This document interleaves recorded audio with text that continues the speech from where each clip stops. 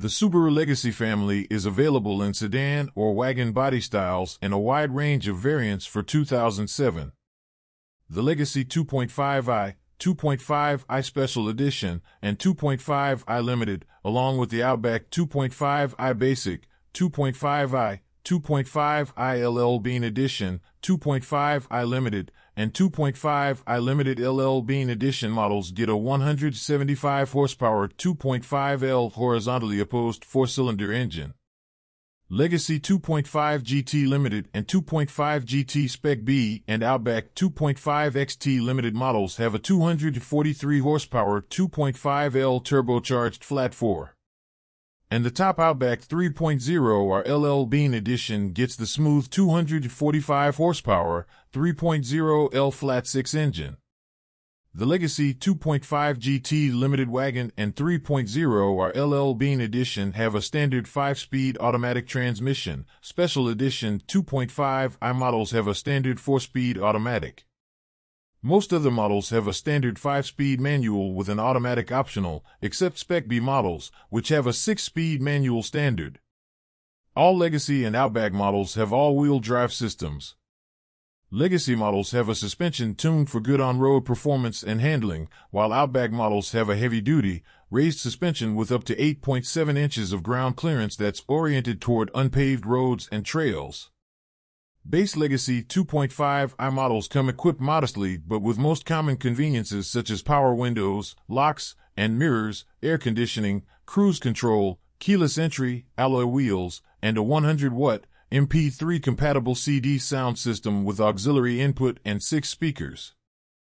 Special edition models add a power driver's seat and power moonroof, while the 2.5i Limited includes heated front seats and mirrors, a 6-disc CD changer, dual-zone climate control, fog lamps, leather trim, and a wiper deicer. 2.5 GT models get a new Subaru Intelligent Drive SI Drive system, which enables three different levels of engine performance, intelligent, sport, and sport sharp. The new performance-oriented 2.5 GT Spec B sedan also gets an exclusive Bilstein sport suspension with aluminum suspension components, inverted struts, 18-inch alloy wheels with summer performance tires, special ground effects, interior trim, and a standard navigation system available on GT's Limited. The 2.5 GT Limited along with the Spec B also gets a quicker steering ratio, larger front brake rotors, and ventilated rear rotors.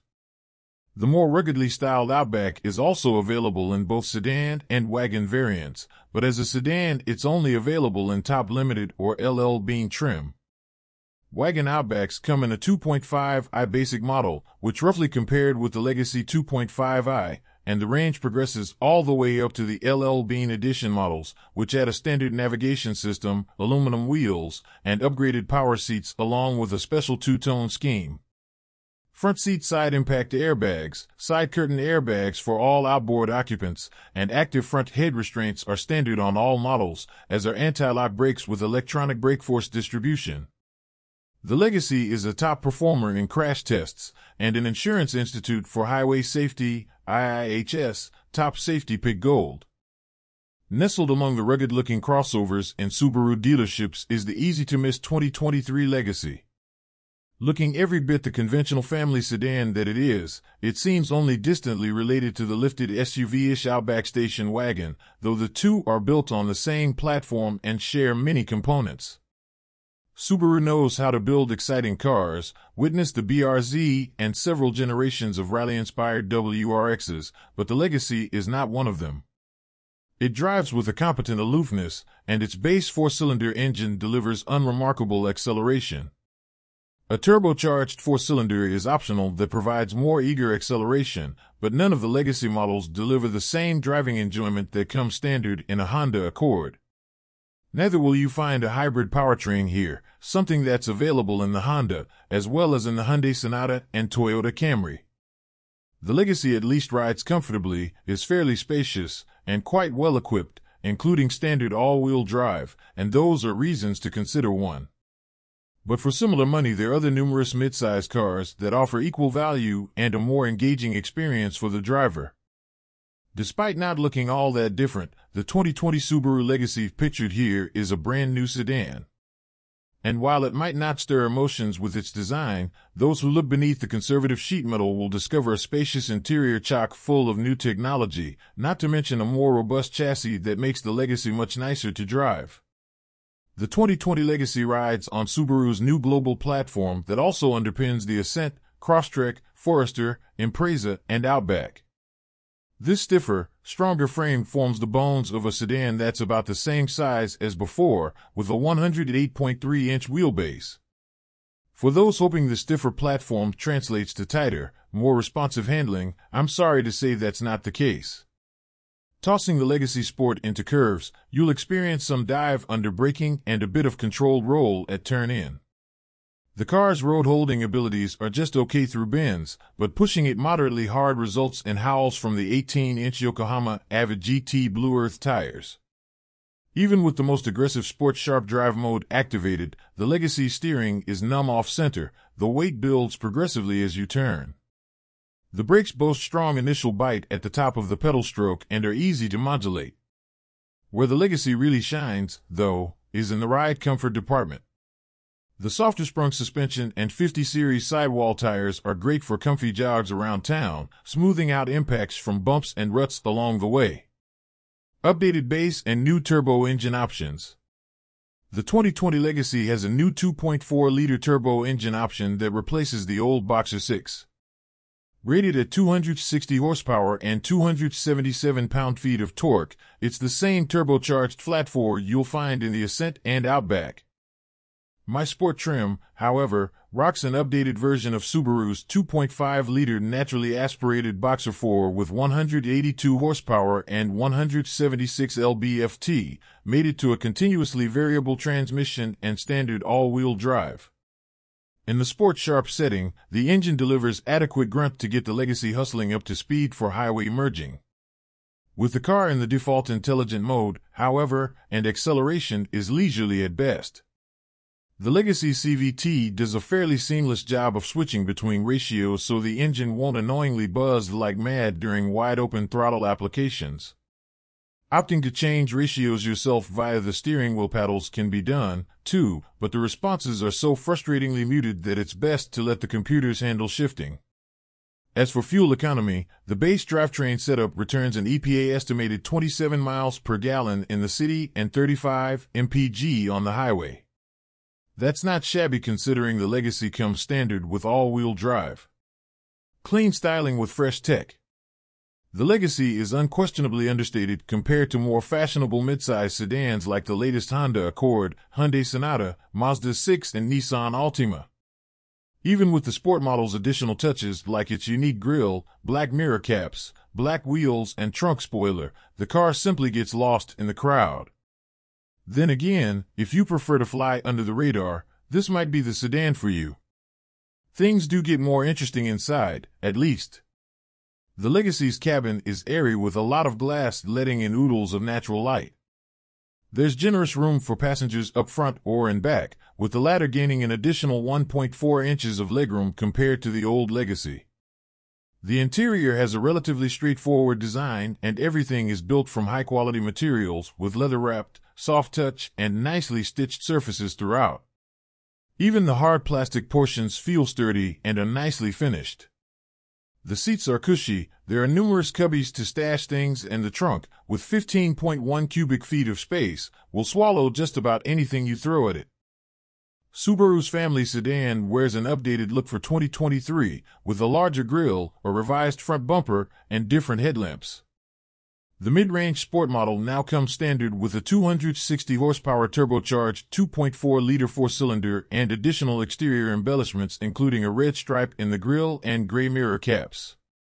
Automated emergency steering has been added to the roster of available driver assistance features, and the top Touring XT trim uses a new wide-angle camera that improves the field of view for the car's eyesight system. The mid-range Sport offers a good balance between price and features. Not only does it come with the more powerful 260 horsepower turbocharged four cylinder, it also adds a bunch of desirable equipment. The Sport comes standard with 18 inch wheels, a power sunroof, LED fog lamps, a rear spoiler, blind spot monitoring, keyless entry with push button start, an auto-dimming rearview mirror with compass, rear automated emergency braking, and cloth upholstery with red contrast stitching. A 2.5-liter horizontally opposed four-cylinder engine is standard and makes 182 horsepower. Sport and Touring XT models come with a 260 horsepower turbocharged 2.4-liter engine. All legacy models have all-wheel drive and a continuously variable automatic transmission, CVT. We've tested both engines now, and what a difference a turbo makes. The Touring XT managed to hit 60 miles per hour in just 6.1 seconds, while the non-turbo Sport required a lackluster 8.0 seconds. Regardless of which engine is under the hood, the new Legacy boasts slightly improved handling dynamics over the last generation and a similarly compliant ride. The non-turbo cars achieve higher fuel economy estimates from the EPA, 27 miles per gallon city, 35 mpg highway, and 30 miles per gallon combined, but the turbocharged models aren't far behind at 24 miles per gallon city, 32 mpg highway, and 27 miles per gallon combined. In our real-world 200-mile highway fuel economy tests, both powertrains delivered 34 miles per gallon, 1 mile per gallon short of the Accord 2.0T's result. That said, the Subaru and Honda pale in comparison with the 2.5-liter equipped Camry SE, which delivered an impressive 45 miles per gallon. Though the measurements may not show it, the Legacy's cabin feels much bigger than the last generation's, particularly in the back. While its design is still on the dowdy side, the Legacy's interior is functional, with well-chosen materials throughout. Cloth upholstery is standard, but the high-end limited and touring models have leather. The front seats are well sculpted and comfortable, and the upper trims feature a manual thigh extension for the driver's seat, a boon to long-legged buyers. The trunk is generously sized and held eight carry-on suitcases in our testing, one more than the Accord and two more than the Camry. Base models use a version of Subaru's Starlink infotainment system that features dual 7.0-inch displays. The One Romeo Premium model has the company's latest 11.6-inch vertically oriented infotainment display that looks as if it had been borrowed from a Volvo. Apple CarPlay and Android Auto integration come standard. And while in-dash navigation is only standard on the Limited and Touring XT models, it's optional on all but the base Legacy. A four-speaker stereo is standard, premium and sport models come with a six-speaker setup, and anything above that gets a 12-speaker Harman slash Kardon audio system. There's a massive 11.6-inch center touchscreen housing the Subaru Multimedia Plus infotainment system. It's packed full of goodies such as a TomTom navigation system, Wi-Fi hotspot, Apple CarPlay, Android Auto, satellite radio, and Bluetooth. While those occupy the middle portion of the display, the bottom houses climate adjustments like fan speed, vent settings, and three-stage heated front seats. For the most part, I like the intuitive infotainment interface. It's got big, clearly labeled icons and quickly swaps pages between different menu screens. Thankfully, Subaru doesn't put everything in the touchscreen, with a couple of knobs and a few hard buttons on the side to adjust radio volume, tuning, and cabin temperature. On the driver assistance technology front, every Legacy comes standard with Subaru's EyeSight suite of features, including adaptive cruise control, lane keeping assist with lane centering, and pedestrian detection.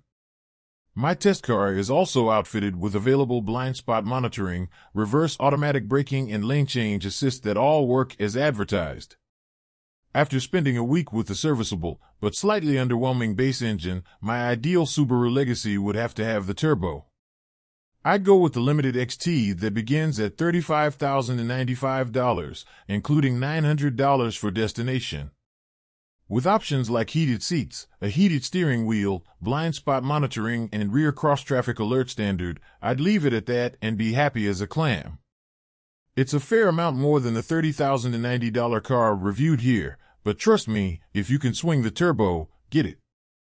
Midsize sedan entries offering all-wheel drive aren't as sparse as before with the Nissan Altima and Toyota Camry now available with this tech, though the Legacy remains the only one in the category with its standard.